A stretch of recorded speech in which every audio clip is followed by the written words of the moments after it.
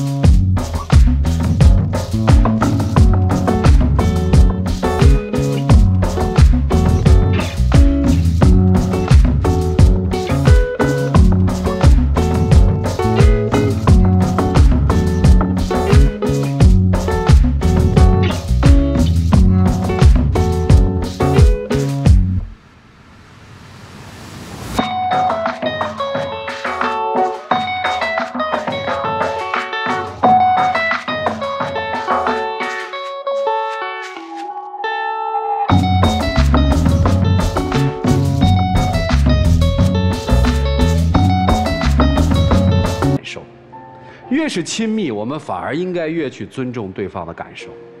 所以不在于是爷们儿还是不爷们儿，不在于是女人还是不女人，这都不是重点。重点是，你们在婚后愿不愿意尊重彼此从过去家庭、从过去的生活中带来的习惯、思维方式和处事的方法，其实就是这个。改造太难了，我们都知道，现实生活当中让一个人改。太难了，只能改自己，改的去接受，也不是改性格，改看问题的角度和方法，你们自己掂量吧啊！我们一起进入真情六十秒。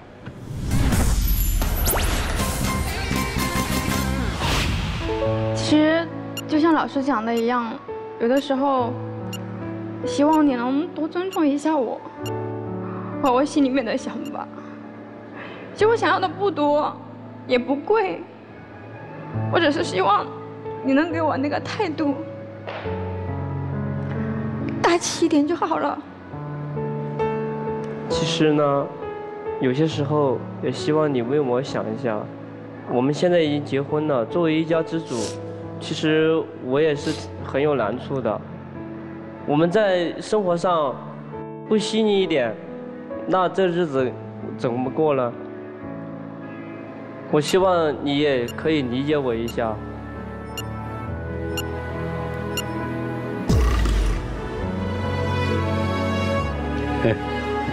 所有的表述里面只有我，没有你。你看女生的要求是，我希望你是这样这样这样，考虑我；男生是，我是希望你变成这样这样，我是多么的难。其实，这一旦有这种表述的时候，我们基本可以感受和理解到。在这个关系当中，你们还没有真的做到为对方去着想。其实我想，老师们谈的最多的、最核心的，恰恰是这个问题。这就是成长嘛。谢谢两位的分享，请回。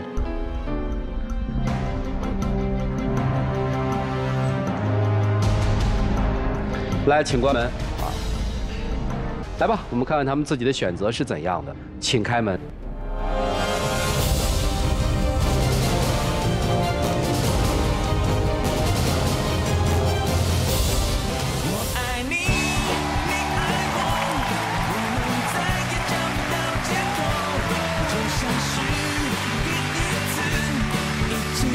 女生啊，你要想找那种小鸟依人的感觉，你得变成小鸟。您老是大苍蝇那种，那没办法弄。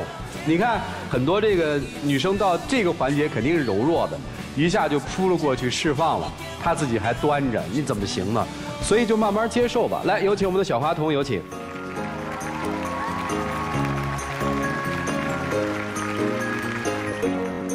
啊，谢谢啊。再抱一下。绝对不一样，马上就是小鸟依人，就这道理，就这意思。哎，抱走吧，特别男人，就那一下，是吗？啊，就刚才那一下特男人。你看你看，他就要这个啊。啊，对。哎呦呦，走吧，走吧，走吧，走吧。